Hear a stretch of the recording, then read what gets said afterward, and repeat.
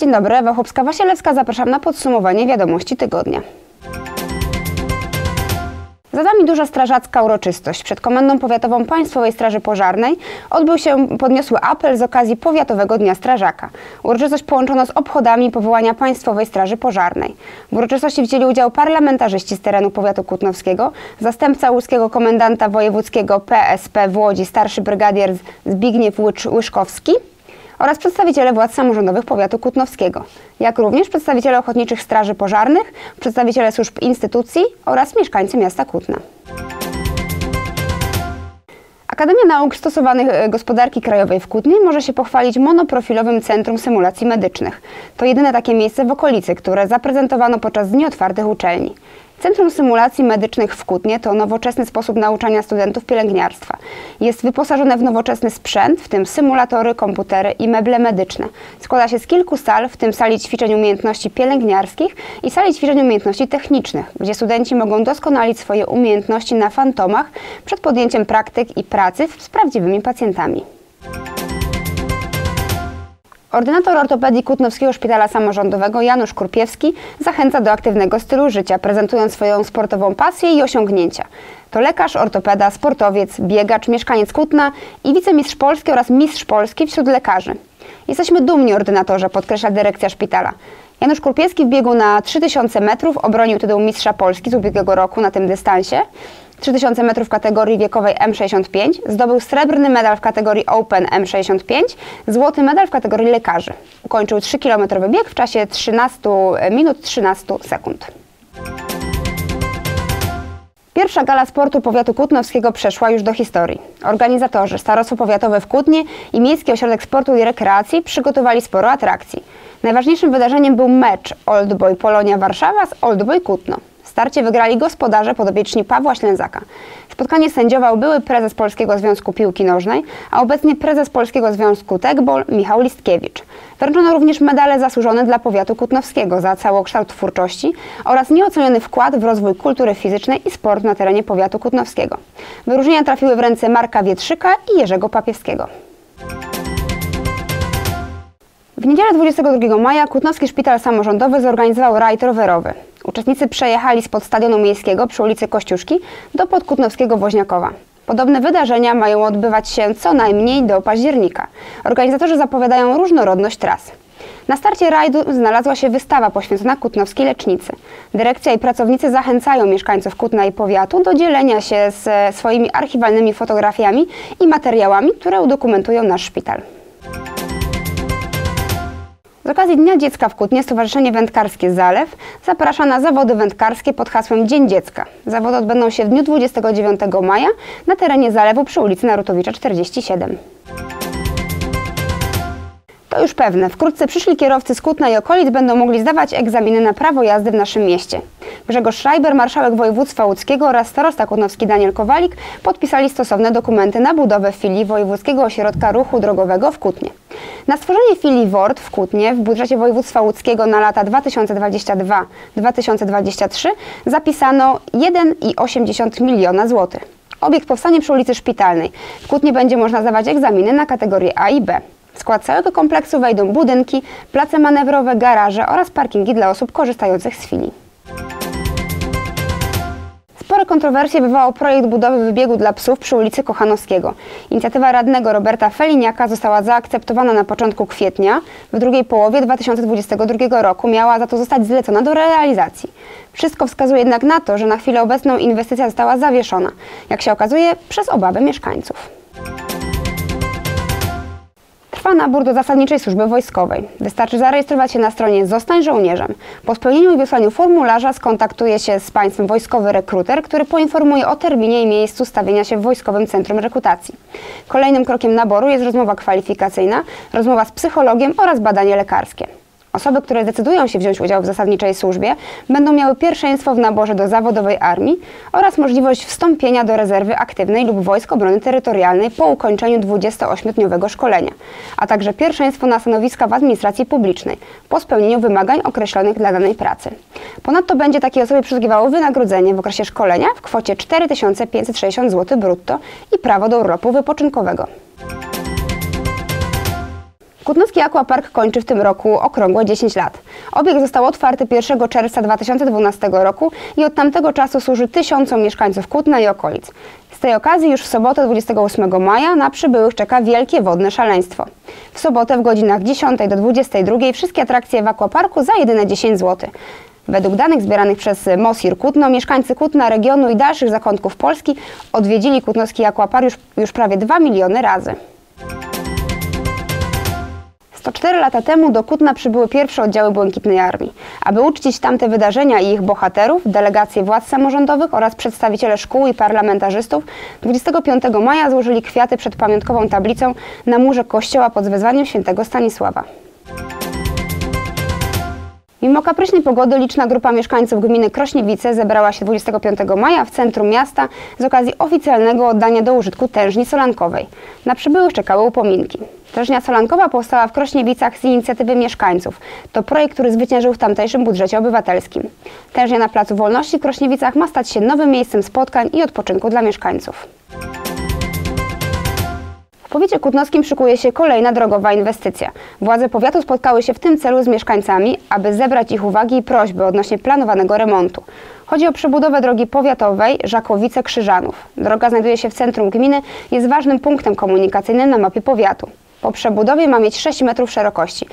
Powstanie przy niej również ciąg pieszo-rowerowy o szerokości 4 metrów. Droga będzie odwodniona z pełnym nowym oznakowaniem oraz dojazdami do pól. Rozstrzygnięcie przetargu na wykonawcę nastąpi 30 maja.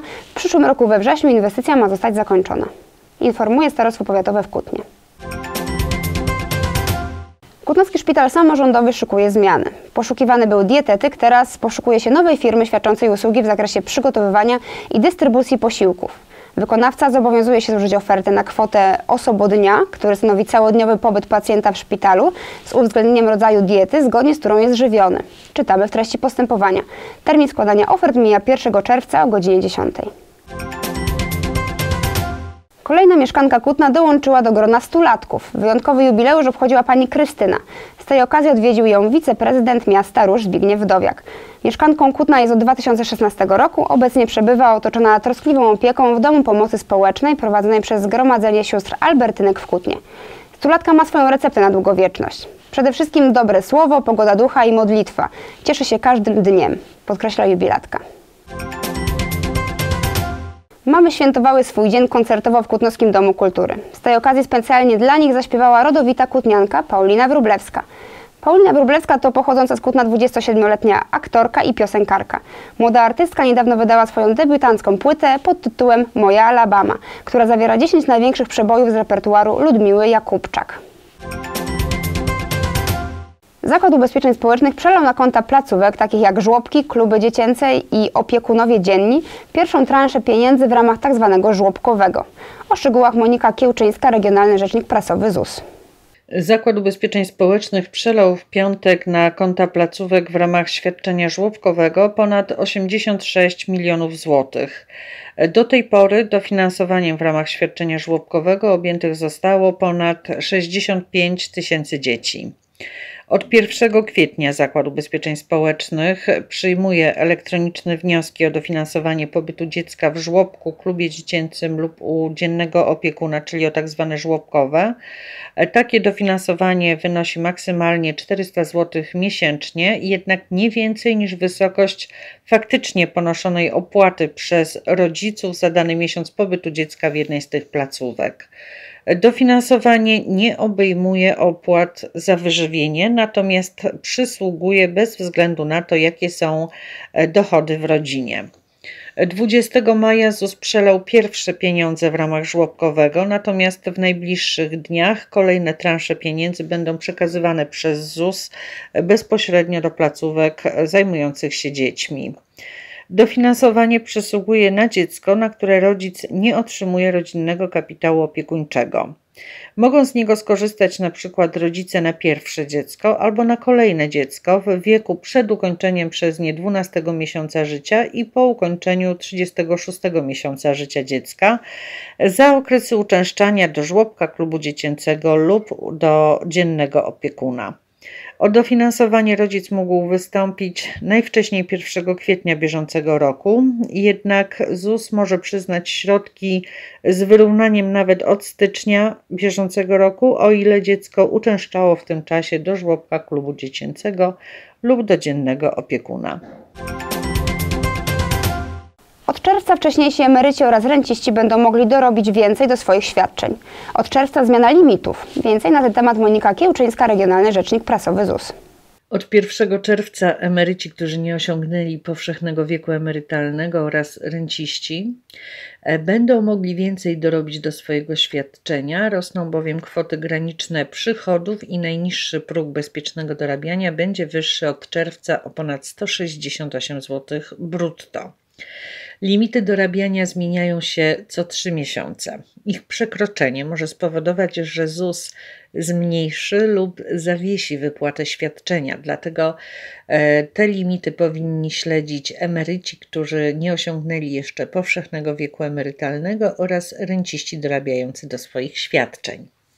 Nowe graniczne kwoty przychodu będą obowiązywały od czerwca do końca sierpnia bieżącego roku i w porównaniu do poprzedniego kwartału są one wyższe, ponieważ wzrosło przeciętne wynagrodzenie w Polsce za pierwszy kwartał 2022 roku. W zależności od tego, czy nie przekroczyliśmy pierwszego czy też drugiego progu limitu, możemy zarobić więcej o około 168 zł lub 312 zł. Aby ZUS nie zmniejszył świadczenia, zarobki nie powinny przekroczyć 70% przeciętnego miesięcznego wynagrodzenia w kraju, e, czyli od czerwca kwoty 4364 zł i 70 groszy brutto.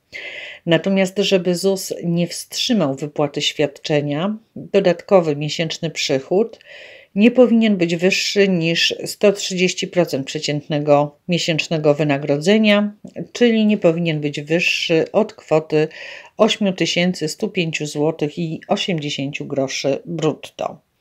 Natomiast jeżeli uzyskamy przychód w granicach od 70 do 130% przeciętnego miesięcznego wynagrodzenia, to ZUS zmniejszy wypłacane świadczenie o kwotę przekroczenia, jednak nie więcej niż o kwotę maksymalnego zmniejszenia.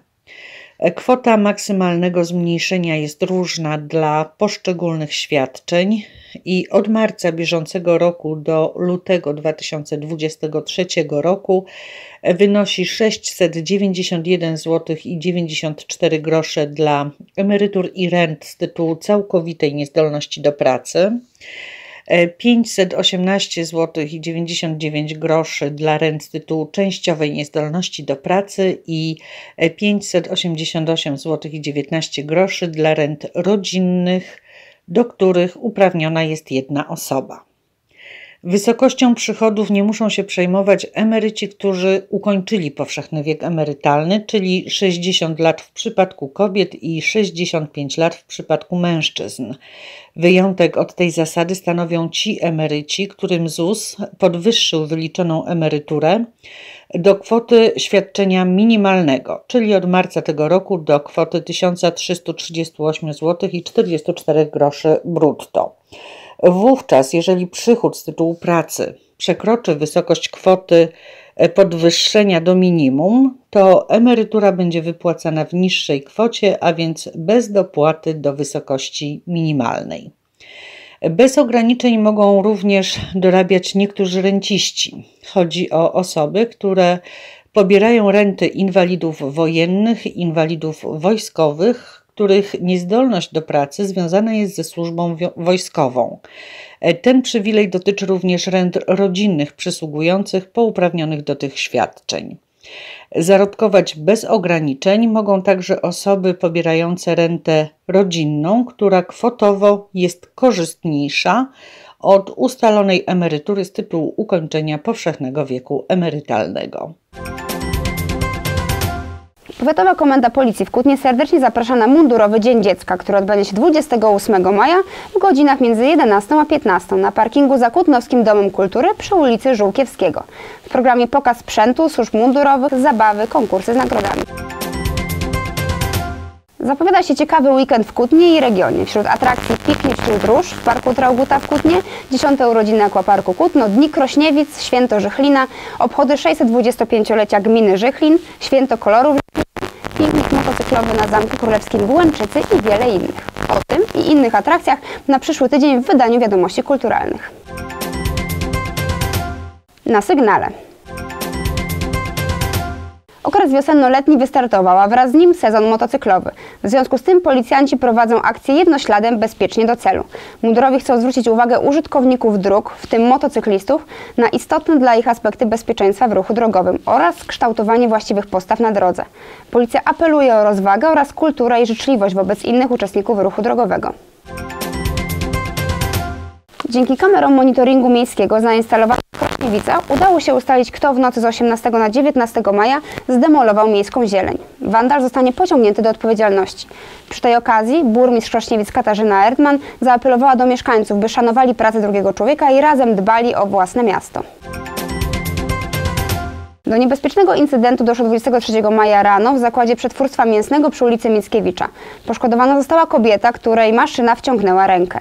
Na szczęście skończyło się tylko na złamaniu. Poszkodowana została przewieziona do szpitala. Policjanci ogniwa patrolowo-interwencyjnego Łęczyckiej Policji zatrzymali 22-latka podejrzanego o przestępstwo narkotykowe. Mężczyzna dilerkę z mefedronem usiłował ukryć w skarpecie. Za posiadanie substancji psychotropowych grozi kara do 3 lat pozbawienia wolności. Tylko w tym miesiącu policjanci zatrzymali już cztery osoby podejrzane o posiadanie narkotyków. Dziękuję Państwu za uwagę, życzę miłego tygodnia.